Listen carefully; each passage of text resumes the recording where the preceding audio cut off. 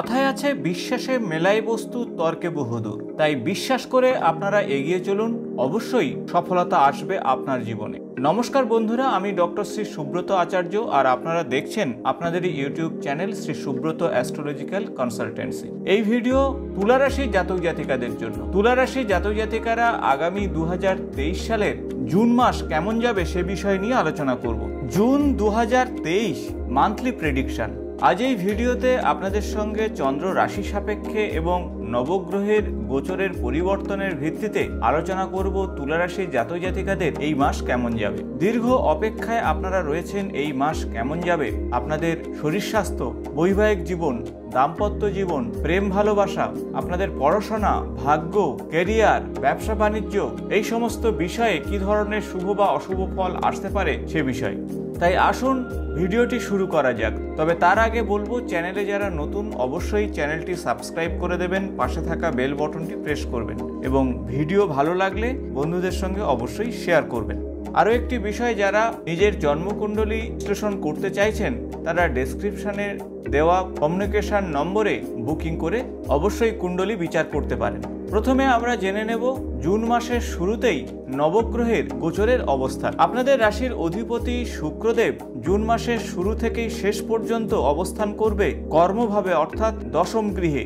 মঙ্গল কর্মভাবে গোচর করছে, নিচস্থ হয়ে। তাই শুক্র এবং মঙ্গল একই সঙ্গে কর্কট রাশিতে অবস্থান করছে। আপনার রাশিতে কেতু অবস্থান করছে এবং পঞ্চমভাবে শনিদেব। সপ্তম গৃহে বুধ, বৃহস্পতি এবং রাহু। তবে বুধ আটই জুন অষ্টম ভাবে, অর্থাৎ বৃষ রাশিতে গোচরের পরিবর্তন ঘটাবে। মাসের শুরু থেকেই রবিদেব অষ্টম ভাবে রয়েছে, তবে ষোলোই জুন তার গোচরের পরিবর্তন ঘটিয়ে মিথুন রাশিতে নবম ভাবে অবস্থান করবে। ঠিক এমনই গ্রহগত গোচরের পরিবর্তন অনুযায়ী আসুন জেনে নেওয়া যাক জুন মাস কেমন যাবে আপনাদের। প্রথমে আসব শরীর স্বাস্থ্যের বিষয়। আপনার রাশির অধিপতি শুক্রদেব কর্মভাবে মঙ্গলের সঙ্গে অবস্থান করছে এবং ষষ্ঠ গৃহের অধিপতি দেবগুরু বৃহস্পতি সপ্তমভাবে রাহু এবং বুধের সঙ্গে অবস্থান করছে এবং দেবগুরু বৃহস্পতি আপনার রাশির উপরে দৃষ্টি দিচ্ছে।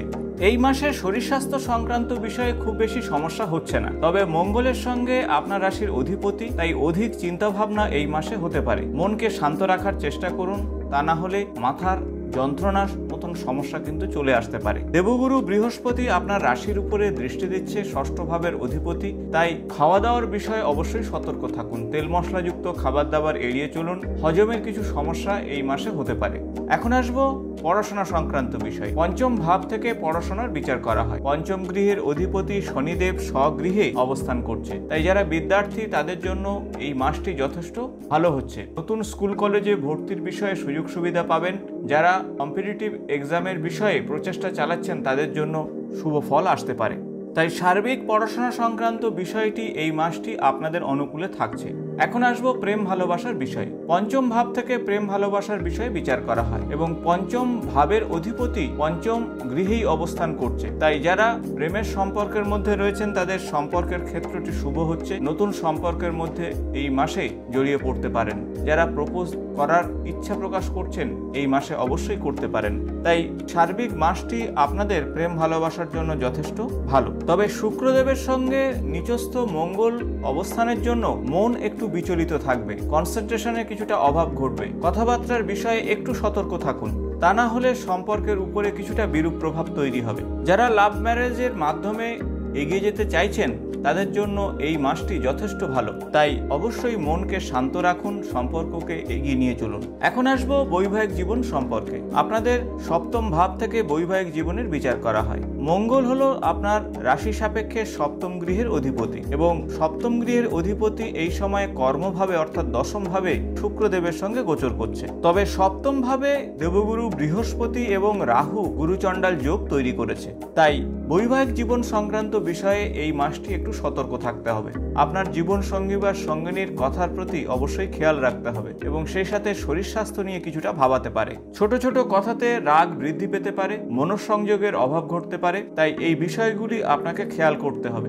রাহু আপনাকে দাম্পত্য সম্পর্কের উপরে বিরূপ প্রভাব তৈরি করতে পারে এবং অন্যদিকে মঙ্গল নিচস্থ অবস্থায় রয়েছে, তাই কিছুটা রাগ বৃদ্ধি পেতে পারে আপনার জীবন সঙ্গী বা সঙ্গিনী। মঙ্গলের চতুর্থ দৃষ্টি কিন্তু আপনার রাশির উপরে রয়েছে, তাই দুজনকেই এই রাগকে নিয়ন্ত্রণ করতে হবে। তবে বাইশে জুনের পর অপেক্ষাকৃত ভালো ফল পাবেন আপনাদের দাম্পত্য জীবনে।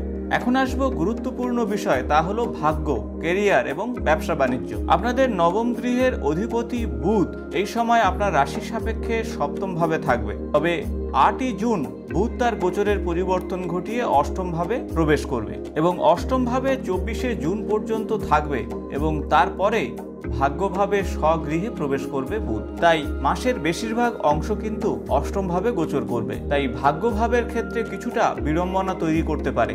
সে বিষয়ে আপনাদের আগাম সতর্ক হওয়া উচিত। তাই ভাগ্যের উপরে বিশ্বাস করে এগোবেন না। তবে আটই জুনের আগে এবং চব্বিশ জুনের পর যে কোনো কাজের ক্ষেত্রে আপনারা সফলতা পাবেন। কারণ আটই জুন থেকে চব্বিশে জুনের মধ্যে অষ্টমভাবে বুধ থাকার জন্য কর্মক্ষেত্রে বিভিন্ন সংকট বা সমস্যা তৈরি হতে পারে। আপনারা যদি অর্থ ইনভেস্ট করতে চান প্রপার্টি যদি কিনতে চান, অর্থাৎ গুরুত্বপূর্ণ কাজগুলি যদি করতে চান, তাহলে অষ্টমভাবে যখন বুধ থাকবে, সেই সময় সেই কাজগুলি করবেন না। কর্মক্ষেত্রের বিষয়ে বিচার করা হয় দশম ভাব থেকে। তাই দশম ভাবের অধিপতি চন্দ্রদেব প্রতি রাশিতে সোয়া দুদিন করে অবস্থান করে। তবে দশম ভাবে আপনার রাশির অধিপতি শুক্র এবং সপ্তম গৃহের অধিপতি মঙ্গল গোচর করছে। তাই কর্মক্ষেত্রে মনকে অবশ্যই স্থির রাখার চেষ্টা করুন। মনঃসংযোগের অভাবে কর্মক্ষেত্রে কিন্তু সমস্যা তৈরি হতে পারে। আপনার রাগকে নিয়ন্ত্রণ করুন। ঊর্ধ্বতন কর্তৃপক্ষের সঙ্গে সম্পর্ক ঠিক রাখুন এবং সেই সাথে আপনার সহকর্মীদের সঙ্গে ভালো ব্যবহার করুন। তাহলে কর্মক্ষেত্র আপনাদের জন্য ভালো হবে। তাই এই মাসে যদি আপনারা কর্মক্ষেত্রে সঠিকভাবে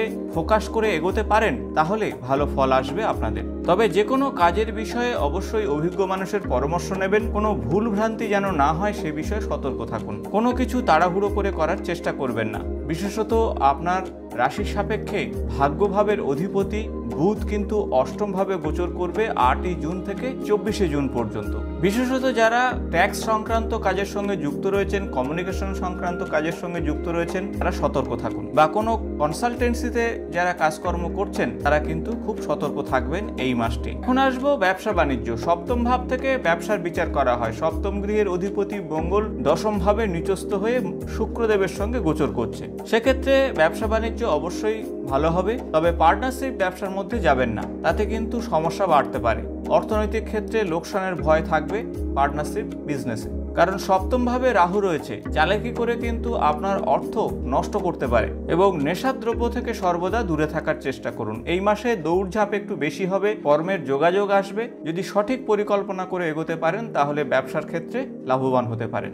এখন আসব কি ধরনের উপায় বা টোটকা করবেন এই মাসে। শুক্রের বীজ মন্ত্র প্রত্যহ জপ করুন ওম দ্রাম দ্রিম দ্রোম সুয়াহা শুক্রায় নমঃ। প্রত্যহ একশো আটবার করে জপ করলে অত্যন্ত শুভ ফল পাবেন। সেই সাথে মা মহালক্ষ্মীর পূজা অর্চনা করুন এবং লাল ফুল নিবেদন করবেন মা মহালক্ষ্মীকে। আশা করব ভিডিওটি ইনফরমেটিভ হয়েছে। ভালো লাগলে বন্ধুদের সঙ্গে শেয়ার করুন। নিয়মিত আমার চ্যানেলের আপডেট পেতে চ্যানেলটি সাবস্ক্রাইব করে পাশে থাকা বেল বটনটি প্রেস করুন। আজ এই পর্যন্ত নমস্কার।